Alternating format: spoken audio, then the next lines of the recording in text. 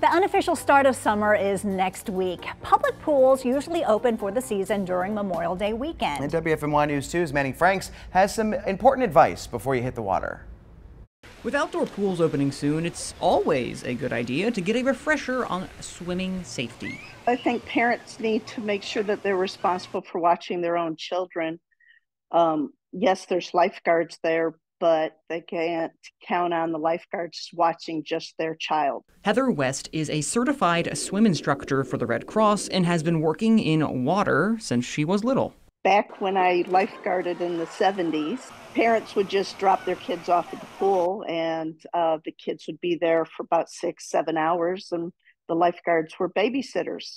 While lifeguards are an important fixture in pool safety, that doesn't mean parents and guardians shouldn't always be vigilant. One of the leading causes of deaths for children is drowning. And if they learn to swim at an early age, it helps prevent them from drowning. She's right. The CDC says that drowning is the number one cause of death for children ages 1 to 4.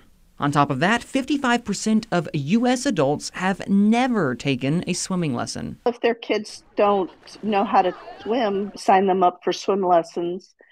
But if they're taking them to the pool and they're not good swimmers themselves, the parents are encouraged to take swim lessons too. So before you take the plunge this Memorial Day weekend, just be sure you're always paying attention, no matter if it's been your first or thousandth time at the pool. In Greensboro, I'm Manning Franks, WFMY News 2.